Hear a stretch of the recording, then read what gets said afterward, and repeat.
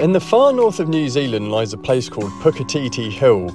It's got stunning views and I decided to paint it from life, known as painting on plein air. What really inspired me about this view was the hills in the background, the channel in the midground and the gum tree and the pine trees that are in the foreground. It was a pretty windy day and I had to paint quickly just because I didn't know if the weather conditions were going to change. When I finished my painting, I took it back to my studio, let it dry, and then I added some details to it, especially to the gum tree in the foreground.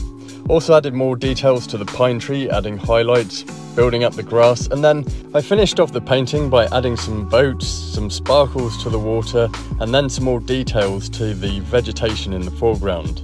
Would you ever paint outdoors?